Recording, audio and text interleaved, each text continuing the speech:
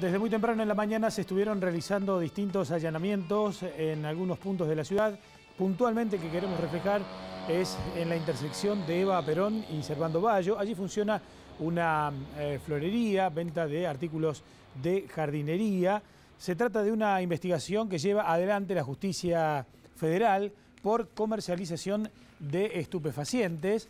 Obviamente el resultado final de los allanamientos eh, quedan en cuestión de tiempo en orden de eh, la justicia federal para dar en detalle lo actuado eh, por lo que se refiere a este hecho puntual, una dotación de gendarmería, cuatro uniformados estuvieron en el lugar requisando el mismo y buscando elementos que puedan contribuir a esta investigación que decíamos lleva adelante la justicia federal por cuestiones relacionadas con eh, la venta de estupefacientes. Estamos hablando de eh, la zona oeste, mm, avenida Eva Perón y eh, Servando Bayo, el operativo, el allanamiento realizado en horas de la mañana de hoy.